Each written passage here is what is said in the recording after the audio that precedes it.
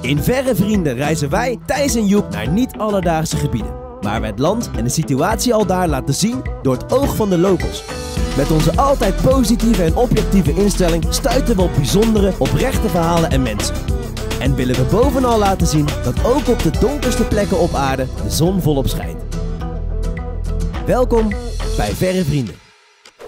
In de vorige aflevering zagen we de donkere kant van Oekraïne. Deze week maken we kennis met de gastvrijheid en de vele schoonheden die het land te bieden heeft. Denk aan Mila Kunis, Mila Jovovic en onze eigen Victoria Koblenko. En deze laatste zochten wij in Nederland nog even op voordat we weggingen. Los van die conflicten en zo, wa- wat is Oekraïne voor een land? Een super gasvrij land, temperamentvol. Ik denk dat jullie eh, weinig mensen zullen bezoeken die jullie zonder eten en drinken naar huis gaan sturen. Hey, en eh, het schijnt dat eh, de mooiste vrouwen ter wereld in Oekraïne wonen. Ja, het schijnt, levende ja. voorbeeld ben jij natuurlijk. hoe, hoe kunnen we ze het beste versieren daar? Oh my Gucci. Ja, je begon net zelf al over, dat er lopen veel mooie vrouwen daar rond, toch? Ja, ja Hoe weet kun je je, een Oekraïnse vrouw het hof maken? Kom ze zijn wel high maintenance. Dus in die zin weet ik niet of ik jij een Oekraïnse vrouw... Nee, ik ben zo voor Nederlands. Ik ben in die zin echt voor Nederlands. Ik ga jullie ook leren proosten trouwens. Oh, dat is wel een goeie. Want in het Russisch zeg je altijd... Na zdravje. eh, na zdravje. In het Oekraïens zeg je budmo. Budmo. Goedemorgen. Budjmo. Goedemorgen. Niet met een leeg glas, hè? Goedemorgen. Nou, tijd om die glazen te vullen en eens goed te proosten. Het eerste dat Thijs en ik altijd doen als we in een land zijn, is een beetje vergelijkend warenonderzoek. Hey uh, Sergej, Yes. eh, een litro de pivo hè? How much? How much liter piva? Liter pivo. Hmm. 20 hryvnia. Nou, dat is niet Ongeveer 20 rand, dat is, dat is ongeveer 60 cent. Hey, eh, een, een barato, goedkope vodka? Cheap. Cheapski. Cheapski. Чипки. э, 18. 18 Да. hryvnia. 50 cent. Voor? Voor, voor 1 litro? Ну, э, half liter. Half liter. Nou, ik doe het al. Half liter vodka voor, eh, nou ja, tegen de 50 cent. Top. Wat een topland.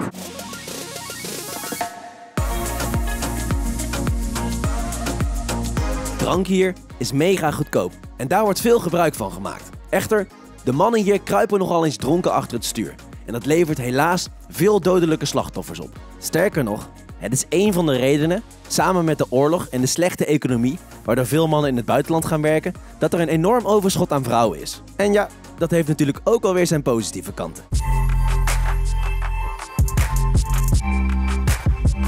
Het gerucht gaat namelijk dat hier de allermooiste vrouwen op aarde rondlopen. Maar hoe denken de locals hier zelf over? Is that true? Да, это правда. Реальность.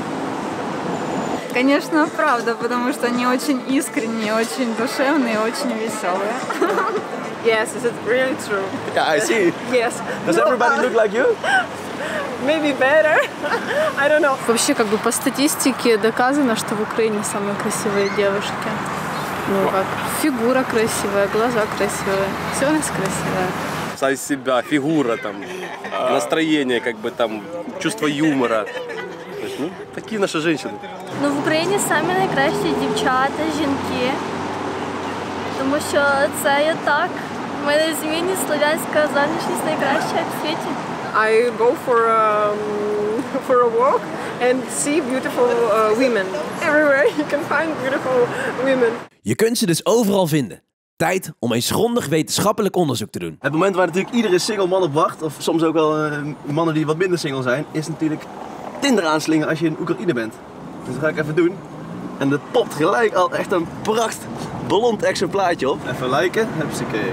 Kut, geen match. Ja, ik scroll naar Uur. Anastasia, 24. Die krijgt een super like. Ja, we zetten er even een paar op een rijtje. Kijk mee en eh, nou, geniet, geniet vooral mee.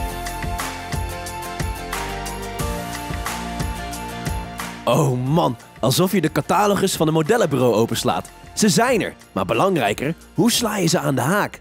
М, Подойти, познакомиться, представиться, типа, оказать знак внимания, тоже подарить цветочек, там, типа, можно спросить что-нибудь, там, завести разговор, как бы, пригласить куда-нибудь. Чувство юмора есть, есть, вот улыбается человек, почему будет? Завес- Завели разговоры, нормально. Мозгами. Украинские девушки не ведутся ну, на красивых мальчиков, там, американцев, европейцев и тому подобное. Это уже вот здесь вот должно. То есть вот влюбилась и... А по-другому не знаю, как вам сказать. Ну, как вы заполучили сердце жены? Сказал, не уеду, пока не женюсь. Пусть даже меня посадят. Every women's in the whole world, no matter Ukraine or Holland girls, they like um, to feel him, herself a woman. She wants to be a little pretty girl. she want be happy. She wants to be behind uh, big shoulders. She wants to be saved. So if you gave her these feelings, it's a little secret. Kijk, en deze baas weet hoe je een Oekraïense vrouw moet behandelen. Watch and learn. How do I pick up girls? Yeah. Look, my nigga. Ребята!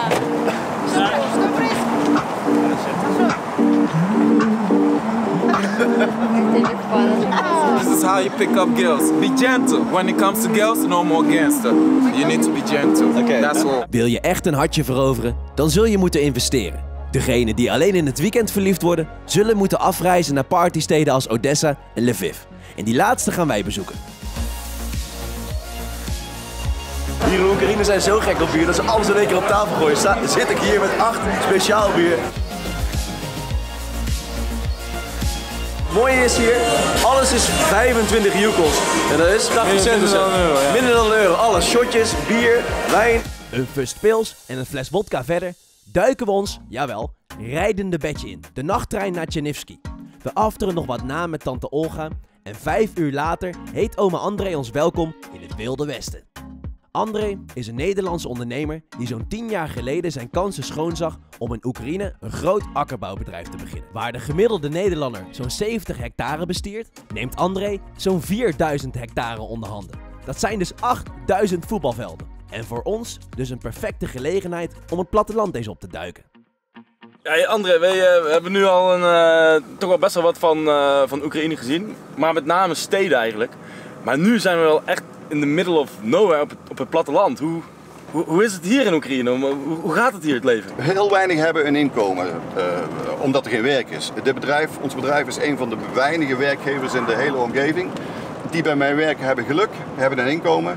Maar de meeste mensen hebben geen inkomen, eh, geen werk, er is geen industrie. Dus moeten zelfvoorzienend zijn, want ze kunnen geen, niet, niet, niet met de portemonnee naar de supermarkt. Wat, wat doen mensen dan? heel? Nou, die hebben natuurlijk, uh, vele daarvan zitten niks te doen. Of zitten een tuintje te werken, proberen groenten te verbouwen. Maar heel veel, jammer genoeg, verzanden natuurlijk ook in het alcohol, in het, uh, in het alcoholisme. Er wordt heel veel gedronken. Uh, om de zorgen te vergeten of zo? Om de zorgen te vergeten en om de problemen te verdoven. En dat is heel begrijpelijk, maar natuurlijk niet de oplossing. Dus alcohol is een groot probleem. De instelregel bij mij en mijn bedrijf is geen alcohol. Eén keer alcohol, je legt eruit. Eén keer leg je eruit, kom je er nooit meer in. Twee uitzonderingen per jaar, twee personeelsfeesten. Dan kunnen ze helemaal losgaan. Dan gaan ze ook helemaal los. Drie dagen lang zelfs. Van één avond feest zijn ze drie dagen helemaal lam. Uh, dat mag ook prima, dan kunnen ze zich uitleven. Zijn er boeren hier die dan dronken op een tractor rondrijden? Jazeker, er zijn er bij die het stuur niet recht kunnen houden. Er zitten een paar graancirkels in. Er zitten inderdaad de Oekraïnse graancirkels, die zijn niet, komen niet van boven, maar die komen van hier.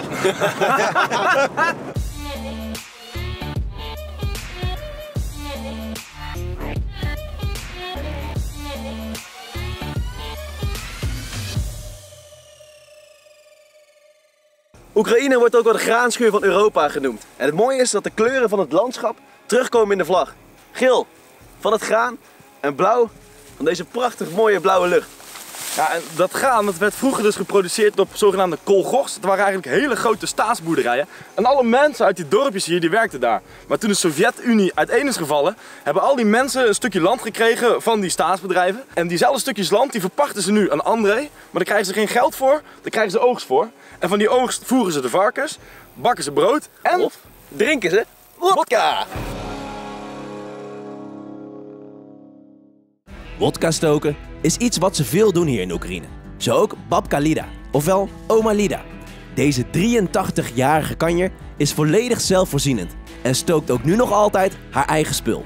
Het stoken van wodka was zeker vroeger niet geheel zonder gevaar. Het kon je zo een jaarsalaris of een flinke tijd in de cel opleveren. А ту горілку тяжко я гонила, бо ховалося, ховали від міліції ховалися, бо то не розрішалося. Як я там ту бочку заробила, то двері замикала, щоб ніхто до хати не йшов, щоб ніхто не доказав, що я гоню горілку. Да. І напої робила.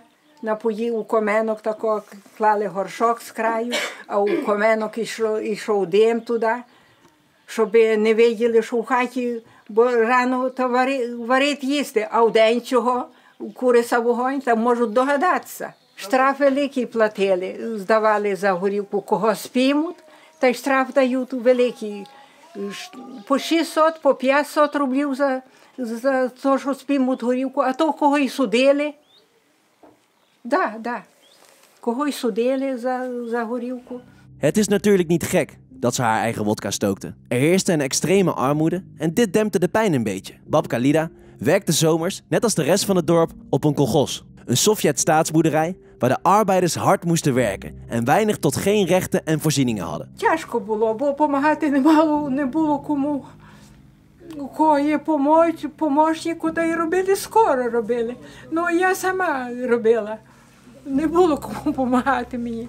Та я робила сутку на, на стоці. Рано йшла, аж на другий ранок приходила додому. Та й тяжко було. А зимою пряду, вовну, овець стригли, і в село робила верети, бо треба було копійки діти ще до школи, та й не мали грошей. Та й давала куп- копійок, заробляла та й платила дітям, допомагала. Тяжко жило, жилося, а зараз вже добре, та нема коли жити. Всі вдовства, і газ, і, і, і все. Та вже года не дозволяють. Усі вдовства в хаті бачили, і туалет, і ванна, і, і, і все, все, і газ, і все є. Лиш здоров'я нема вже. Лиш здоров'я не вистачає. Нічого, ще Господь, доки Господь продлить, то ще будемо ковирятися помаленьку. Ну, а що? Tell her that we think that she lives another 82 years. А вони сподіваються, що ви будете жити ще 82 роки. Ні, я не хочу жити. Моя мама казала, дітко, я не хочу вже жити. Як я себе не сама не гона обійти сама себе, то вже на що мені жити спілком? Wat een ontzettend lief en positief vrouwtje. Ze is dus al bezig met het stoken van 200 liter wodka voor haar eigen begrafenis. Wij hopen alleen maar uit de grond van ons hart dat dit moment nog ver vooruit ligt. Om een goed beeld van het plattelandsleven te krijgen, heeft burgemeester Stanislav ons uitgenodigd voor een rondleiding.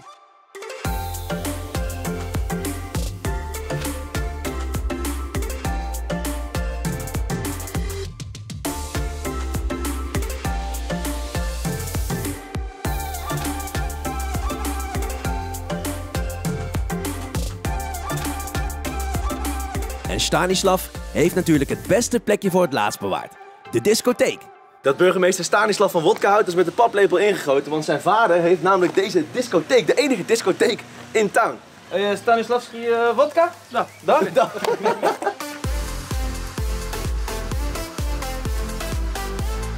За Україну! За Україну! Het mooie is, dit dorp heeft dan wel een discotheek, maar geen supermarkt. Mensen buiten de steden zijn namelijk zelfvoorzienend, met eigen dieren en gewassen. Zo ook Ivan.